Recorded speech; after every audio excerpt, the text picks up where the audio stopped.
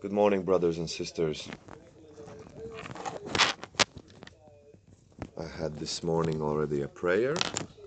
I don't know, 15 minute, 20 minute. How how how it works. As long as I say thank you for my waking up and he gives me a life and he loves me and he gives me everything what I need. So all right, for before reading I want to pray.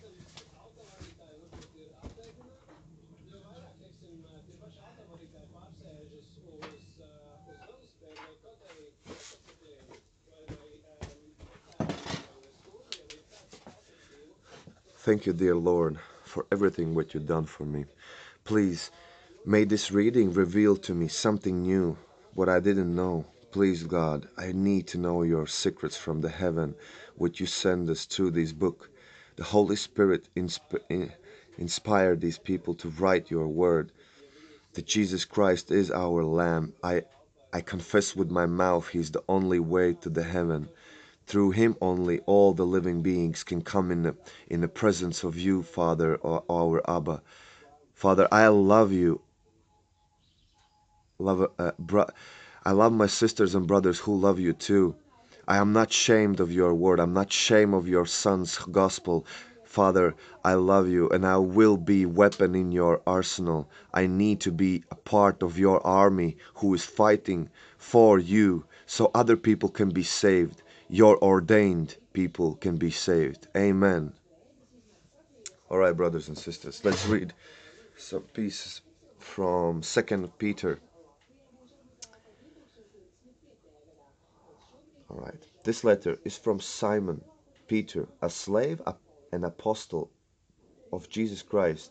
I'm writing to you who share the same precious faith we have this faith was given to you because of the justice and fairness of Jesus Christ, our God and Savior. Amen. May God give you more and more grace and peace as you grow in your knowledge of God and Jesus our Lord. Thank you very much, Peter. By this divine power, God has given us everything we need for living a godly life we have received all of this by coming to know him, the one who called us to him himself by means of his marvelous glory and excellence. And because of his glory and excellence, he has given he has given us a great and precious promises.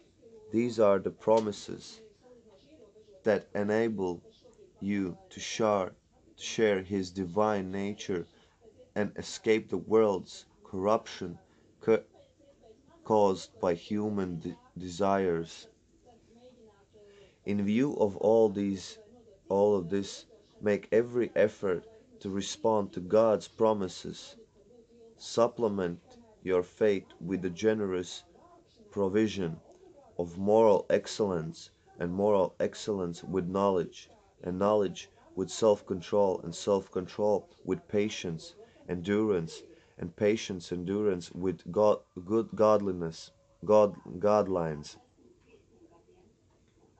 God godliness and patience endurance with godliness and godliness with a broad, brotherly affection and brotherly affection with love for everyone. This is powerful is very powerful. The more you grow like this, the more productive and useful you will be in your knowledge of our Lord Jesus Christ. But those who fail to develop, develop in this way, we are short, short-sighted or blind. In this way, are short-sighted and blind, forgetting that they have been cleansed from their old sins. So, dear brother and sister, work hard to prove that you really are among those God has called and chosen. Do these things, and you will never fail away. Then God will give you grand entrance into the eternal kingdom of our Lord and Savior Jesus Christ. So need to work hard.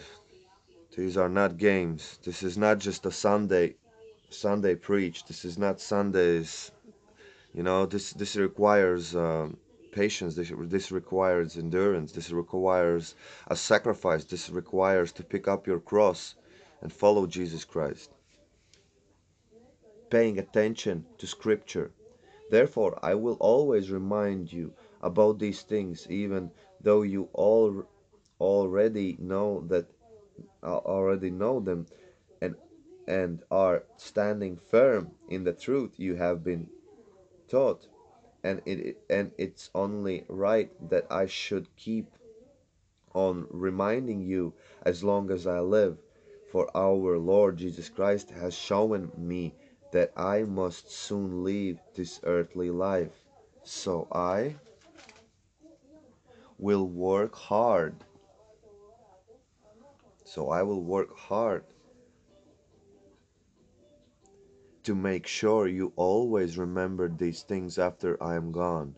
For we were not making up clever stories when we told you about the power, powerful coming of our Lord Jesus Christ. We, we saw his majest, majestic splendor with our own eyes when they received honor and glory from God the Father, the voice from the majestic glory of God said to him, This is the dearly loved Son, who brings me great joy. We ourselves hear the voice from heaven when we were with him on the holy mountain because of the experience, we have even greater confidence in a message proclaimed by the prophets. You must pay close attention to what they wrote, for their words are like a lamp shining in a dark place until the day dawns, and Christ the morning star shines in your hearts. Above all, you must realize that the prophet's prophecy in the scriptures ever came from the prophet's own understanding or from human in, in initiative. No those no those prophets were moved by the Holy Spirit and they spoke from God. No, those prophets were moved by the Holy Spirit and they spoke from God. Exactly. So not not not that they wrote because they wanted to wrote because the Holy Spirit moved them to wrote that and God was speaking through them. But there was but there were also false prophets in Israel, just as there will be false teachers among you. They will cleverly teach destructive heresies and even deny the master who brought them. In this way, they will bring sudden destruction on themselves. Many will follow their the evil teaching and shameful immorality. And because of these teachers, the way of truth will be slandered. In their greed, they will make up clever lies to get hold of your money.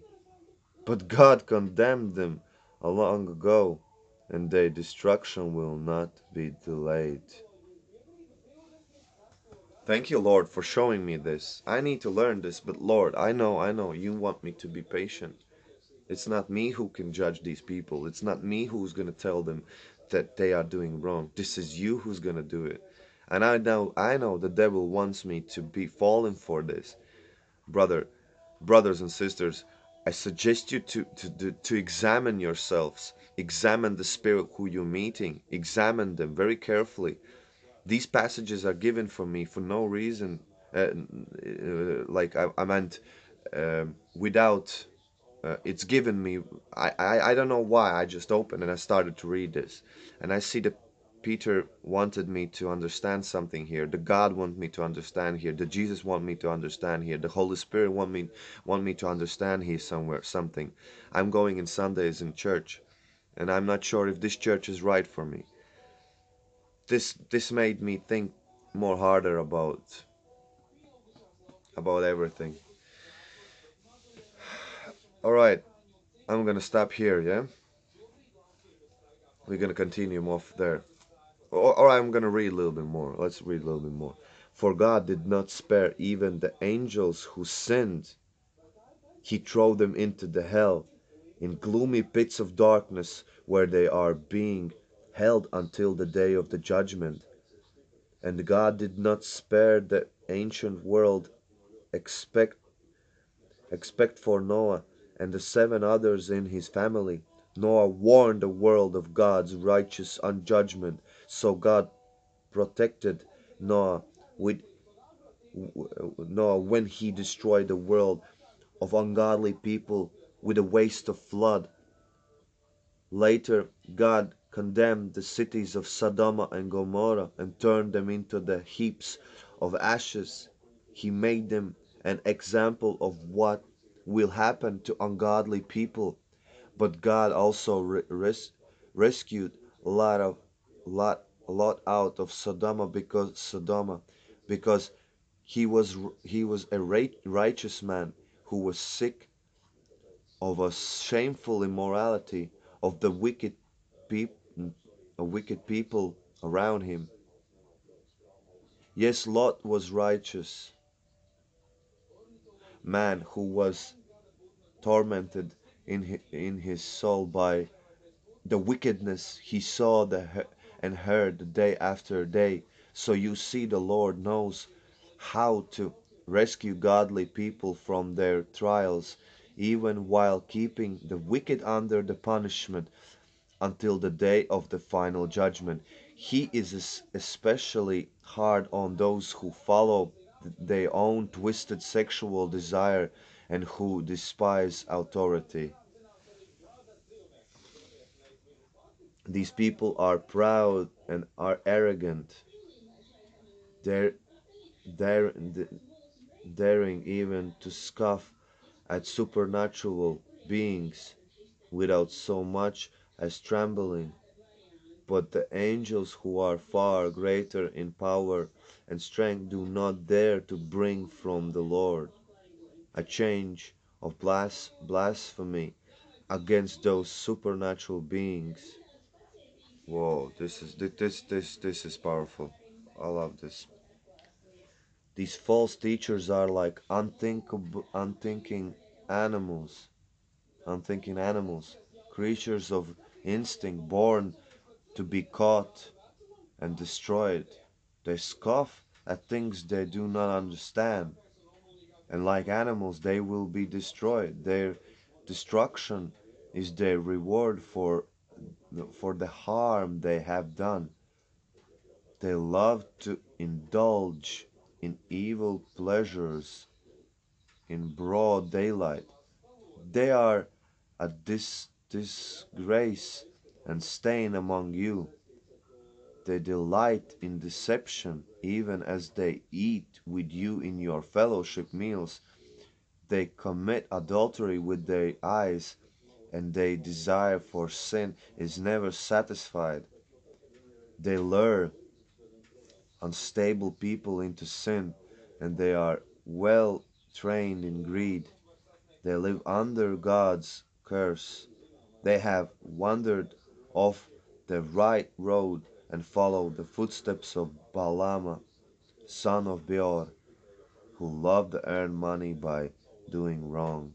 But Balaam was stopped from his mad curse when he when his donkey rebuked donkey rebuked him with a human voice. Whoa! The donkey spoke to the Balamans and rebuked him. But that's what it is. That that's what's gonna happen. This book is live. You need to understand. This book is not lying. This book is real, and is this this this is not a joke. This is not a joke. I love this book. Everything in this book I love. Whatever this book is saying, I'm I'm taking it seriously because this book is this book is live. It breathes in life into the into the dead It gives sight of to the blind. It gives love to hateful. This this book reveals the God's essence itself in itself.